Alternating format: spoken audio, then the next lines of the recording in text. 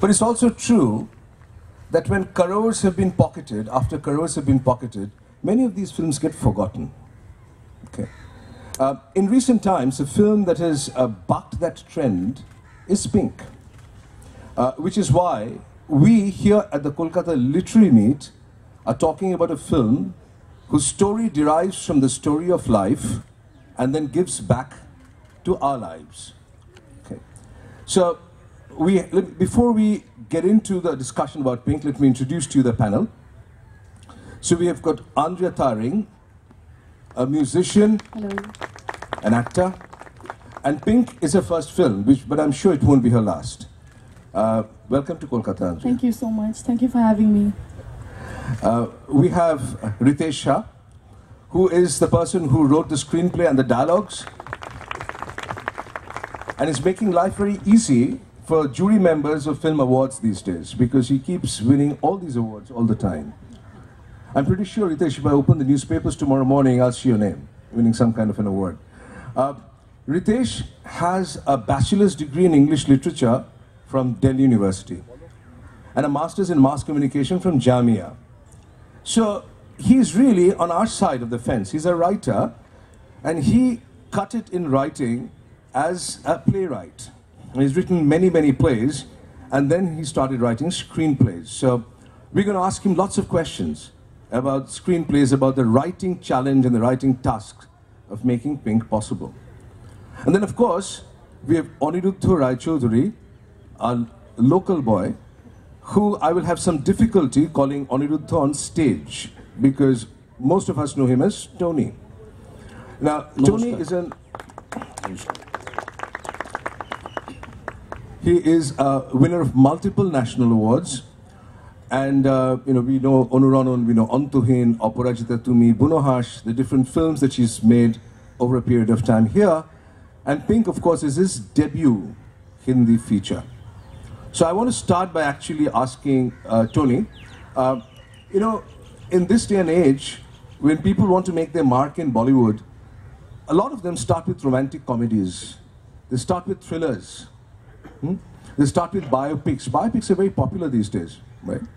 But you chose to start with Pink. Why?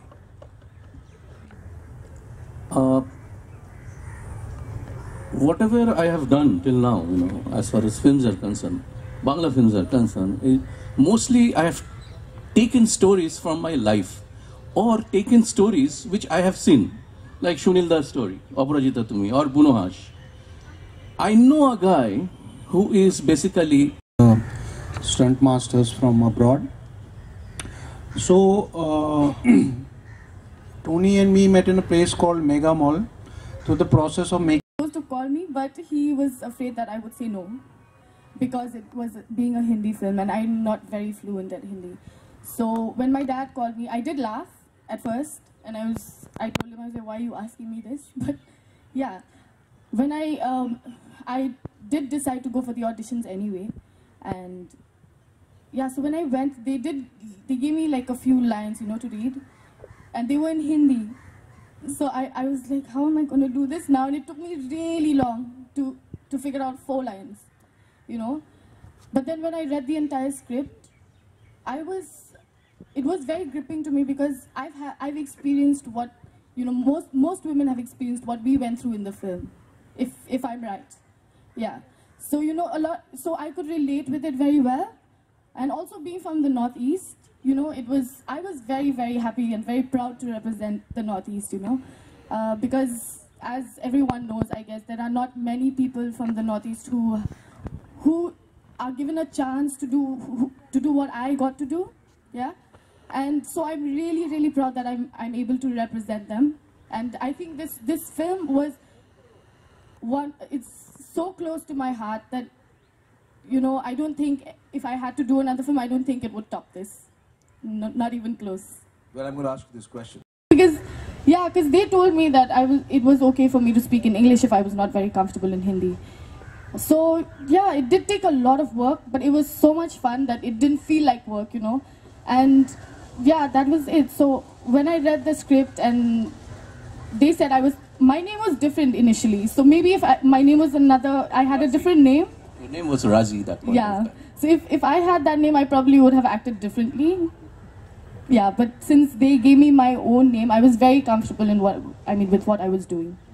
Tony, do you want to pick up on that a little bit? Yeah, Because yeah. it's very hard. You know, people say it's very real. But the most difficult thing is to create something which is very real, right? I, I'll, I'll tell you something, you know, uh, everything like a documentary. Just take your, there's not a single shot uh, with a tripod or with a trolley or with a panther or with a jimmy jib, you know, with those equipments. I told him, let's capture the moments. Just hold your camera. Let's make a film like a CNN News or like a, like a documentary filmmaker. So we did that. And in Pink, we were sure me and we, we decided that we'll not create a shot. Let the shot happen, we'll capture a shot. When we were casting, you know, I didn't know Taapsee. Ronnie and Shoojit told me Taapsee, uh, and like any other uh, newcomer in Bollywood, that grid was with me. I need big stars, huge stars, you know. And that, that point of time, Mr. Bachchan was not uh, on board. So uh, they told Taapsee will be very good. He has, she has a fire in her eyes. So I saw her, we met, and we decided this is the girl. Then Kirti's, you know, uh, screen test came to me, and we, and there is a kind of gut feel. This is the woman.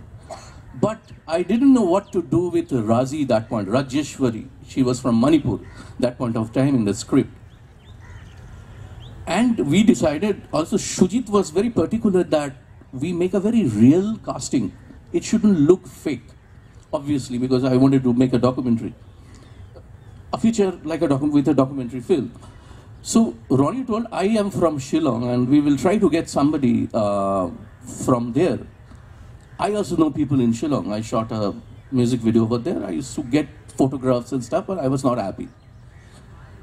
Once we were having dinner, I still remember, and if you see my our uh, post uh, pre-production notes, we wanted a girl with a tattoo. We wanted a girl who can play guitar. We wanted a girl who is very carefree. So we were having dinner, and I saw this little girl.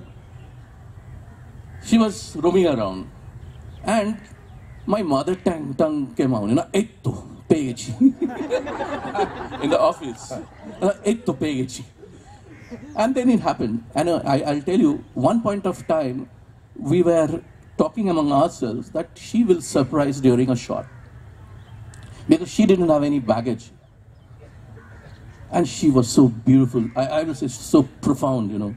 The way she was sitting, the sh- way she was emoting, not a single frame was fake, trust me. Uh, which